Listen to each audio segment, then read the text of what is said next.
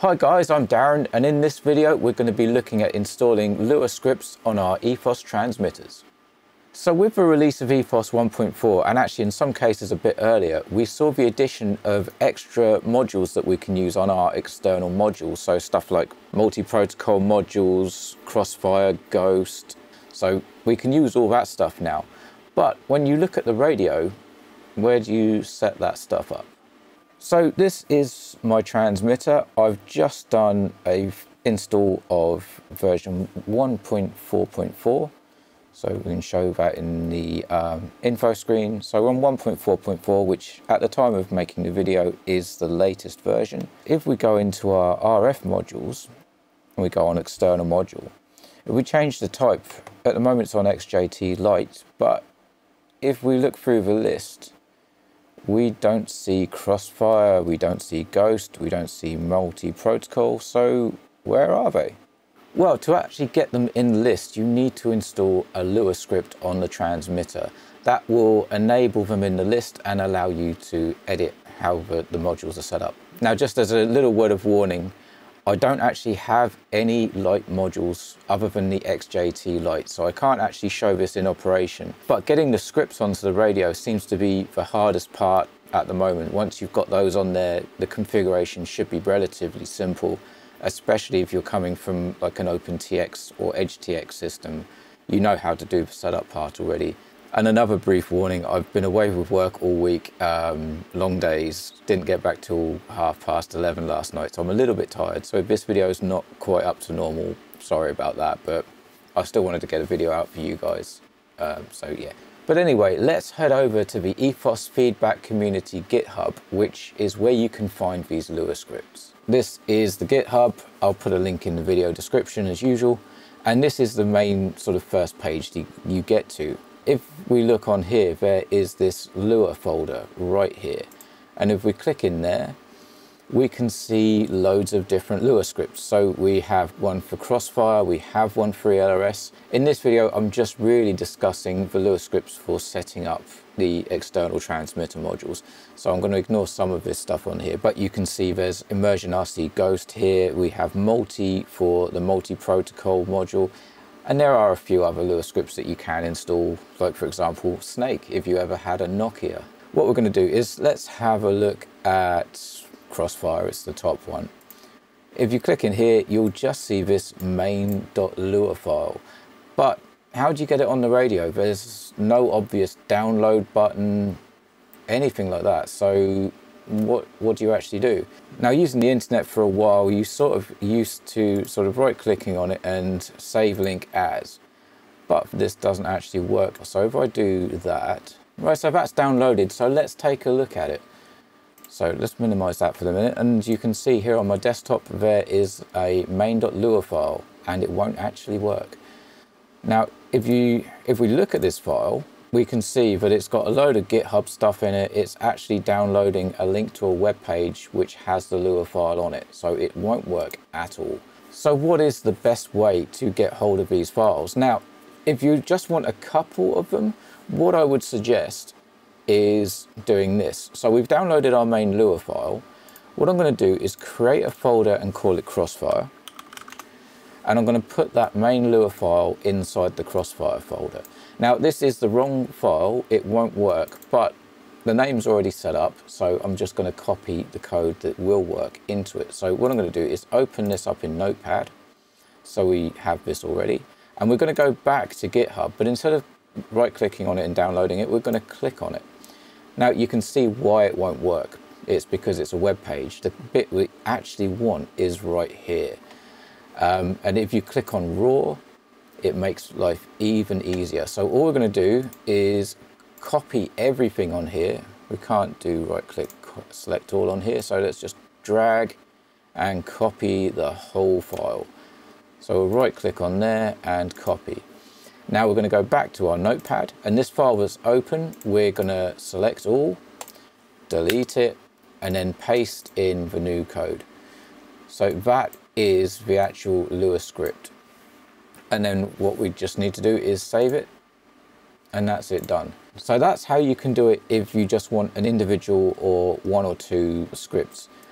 But if you wanted absolutely every Lua script, which to be honest, I don't know why you would, we can download everything um, and just select the bits we want. So what I'm going to do is we'll go back into the uh, feedback community and I'm going to go back to the main page. Now up here you see this green code button. If you click on that, you have the option to download as a zip. Now this will download everything. It will download all the releases for ETHOS, every, all the documents, absolutely everything. So it is a massive, massive overkill. It would be much nicer if you could just go into a Lua script and have a little download button, or even on the Lua script main page, have an option just to download all the Lua scripts. But unfortunately, there is no download option here. So the two options are download everything or click into each one and get the script files that you want. I don't know if there are any scripts, but some scripts do have multiple files. I don't know if there are with these uh, ETHOS Lua scripts, but if they are, it gets a bit trickier and then it might be worth just downloading the zip file. So what I will do is I'll go through that process again with multi-protocol just to go step by step through each part. And then I'll show you the downloaded zip file, which has everything so you know which parts that you need to copy to the radio. So what I'm going to do is we'll go into multi. And again, I'm going to right click and save link as. And what I'm going to do, this is my desktop, so I'm just going to create a new folder and call it multi. And I'm going to save that main.lua file inside the, the multi folder. So what we're going to do is click on main.lua and I'm just going to select all from in this. I'm just going to select it all in this box so we don't have to go back through another page. So I'm going to copy that. What I'm then going to do is we'll minimize this. We have a multi folder we just created. We'll open that in Explorer, edit uh, in Notepad. We're going to select everything delete it, and then paste in just our Lua script and then save it. So there we go. Close Notepad down. So there the two folders for our Crossfire and our multi-protocol module Lua scripts. Now this folder over here is the zip file. Well, I've just extracted the file inside the zip. So if you open that up, what you'll see is this is basically the same as GitHub. So if I open that up and we go back to the, the home page, and I'll put them next to each other, and you can see actually what's going on. So I'll click View Code, and we have our GitHub folder, GitHub doc, doc, Lua, Lua, testing, etc. So we know we just need to go inside Lua, and these here are all the scripts. Now we know how to get them from both methods if they're complex scripts or you want all of them, you can just download the whole zip file. So now what we need to do is get them on the radio. So I'm just going to plug in the USB cable, select FrSky Suite on the on-screen menu, and then I'll be right back. Right, so we've connected to our X20 in this case. So again, I'm going to open another Windows Explorer. And what I'm going to do is put this in this bottom corner so we can see what's going on. And what we're going to do is find our transmitter drives. So in this case, it's the X20, so I have the um, internal storage and I have an SD card. If you have an X18, I think the XE, uh, I don't know about the new twin radios, they may have internal storage called the NAND storage, which is effectively similar to using your SD card. If you're using NAND storage, then put it into a scripts folder on your NAND storage. And how you know which one you're using, you have to go into the system general settings and see where scripts are running from. It will either be from the radio or from the SD card. If it's the radio, it means the NAND storage. If it's the SD card, it means the SD card. Um, but what we're going to do is you want to create a folder called scripts. If it does exist, we're just going to go into that folder. So I'd already created the scripts folder. It's not there as standard, but um, you will need to create this scripts folder. So what I'm going to do is just take these two folders here for Crossfire and Multi. I'm just going to put them inside the scripts folder on the SD card in my case.